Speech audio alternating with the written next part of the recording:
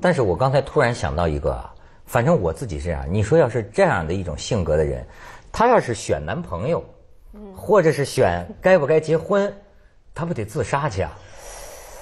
我觉得分人，就拿我来说，我通常在一些特别大的事儿上，我又特别鲁莽，就是说难听点儿是鲁莽、冲动。就比如说真的拍戏。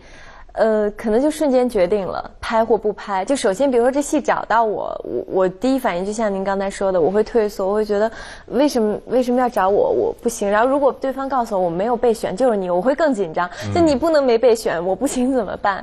但真的就是这个事儿，我一旦投入进去了之后，第一，我觉得就我行了，这事儿我也不问导演你干嘛要选我，就我行。这个有无限的这个信心突然就爆棚起来，但也会特别的努力。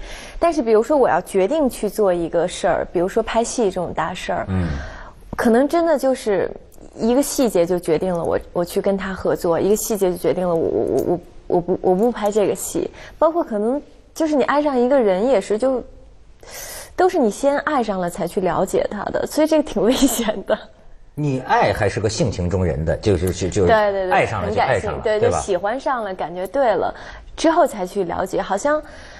没有说认识了好久，就对对方已经非常熟悉了。哎，你发现他的优点了，你喜欢上他了，好像都是就是一下那个感觉对了，就是这个人了，然后才去了解，很危险。那了解之后会反复琢磨吗？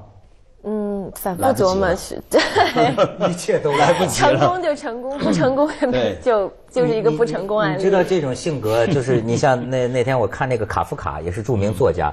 那么他曾经啊，我就看他决定跟一个女孩结不结婚呢？嗯，这就是病啊，你知道吗？几年的时间，他不停的给这个女的写信。嗯，你知道那个就是我应该跟你结婚，还是怎么个？他恨不能把全世界的问题都写进去，甚至他到最后啊，两行。他双子座吧？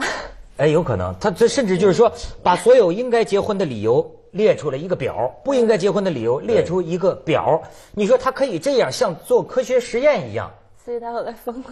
疯，这不也没疯，但是结不了婚，最终这样婚就结不了了。对他很生活很不快乐了。这就很不快乐，就是其实你看这个选择之苦啊，他只能把这些写成小说啊。是，嗯，因为因为。太怕自己犯错误，太没自信心了，就是对不对？太太不相信自己的偏好。嗯。呃，反正我觉得你说感情上那很正常，就是感情上其实大部分人都很难理性选择。嗯。因为你你你总不能列表吧？比如说，哎，该不该喜欢这个人？然后想想看他的优点是什么，缺点是什么，然后计算一下。我我列过。你干过这这么无聊的事儿，然后再终于发现他优点有十个，缺点有七个，那还行，不能这样吧？嗯。但其实可能这样，也许是成功率比较高的一种方式吧。你看，会计说了，因为因为以前就是有有一个朋友，在我特别小的时候就问过我说：“你喜欢一个人，或者说你想跟这这个人在一起，你最看重的是什么？”